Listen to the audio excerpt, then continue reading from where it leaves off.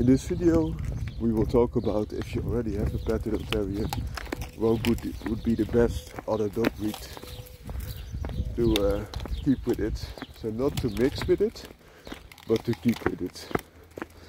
And in my opinion, you see that I already have two Patterdale Terriers, so you should not be uh, fooled that you need to go to another breed. But if you want to, and you want additional features for your breed, it depends a lot what you want. Of course, if you are in the performance type of dogs and you want to use them for the original purpose, and that Patterdale Terrier original purpose would normally be uh, a dog for hunting, especially below ground.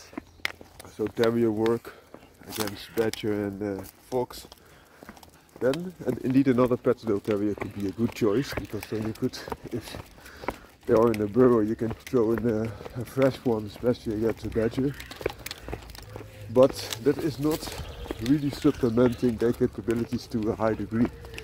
You could also go for a dog that's more of a jack of all trades. So for example, a German hunting terrier, German Jagd terrier so to say, which has a little bit better nose and is also more of a baying type.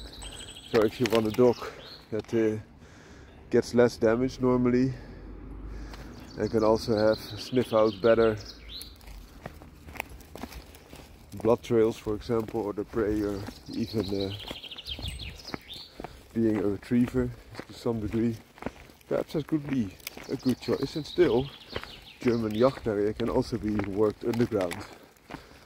Another dog that you could consider then would be, uh,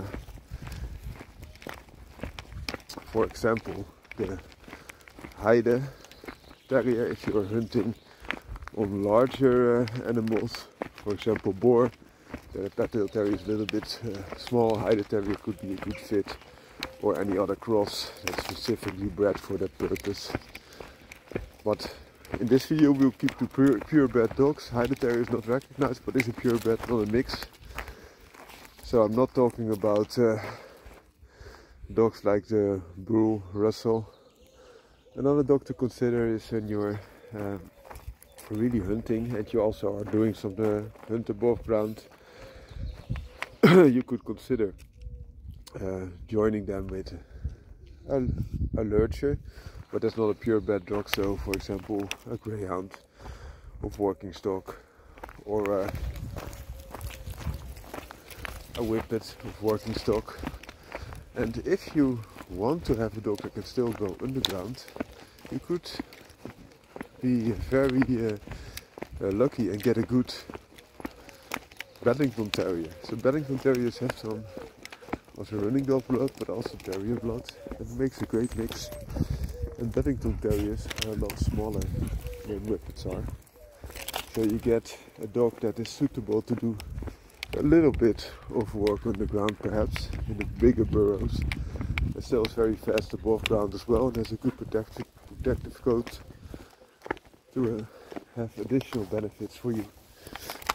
Another of those type of dogs is, is less known, which is the Manchester Terrier, which also has a little bit of whippet blood next to Black and Tan Terrier blood. The Black and Tan Terrier was one of the ancestors of the Patterdale.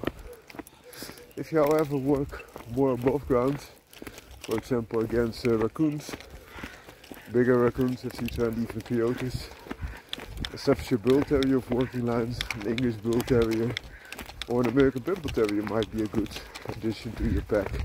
Those dogs are also quite capable of uh, helping out with uh, hunting for boars. They are just fantastic little dogs. If you want to have a big sledgehammer, a Dogo Argentino or American Bulldog, especially Scott type, would be a very nice bet. I think from the purebred dogs, these are the most important on the list. You could also go for a protection type of dog, for example, Boerboel or Fila Brasileiro or big ones to be supplemented with the smaller ones that you have. And the Patterdale Terrier will help out. So then the small dog helps alerting and can also be an additional companion to protect.